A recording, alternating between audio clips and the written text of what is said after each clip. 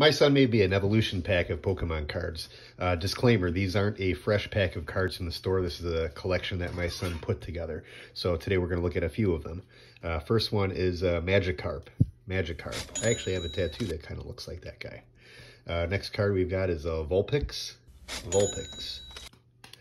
Uh, up next we've got Raticate. Raticate.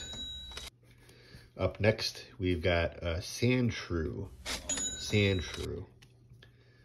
And next we've got an Onix. Onix. And the next we've got a Tangela.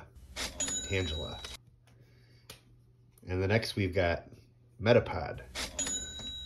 And next we've got Kakuna. Kakuna.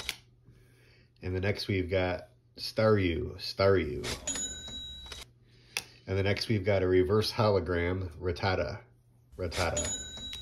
And lastly, in this plastic case, we've got a Charizard. Charizard.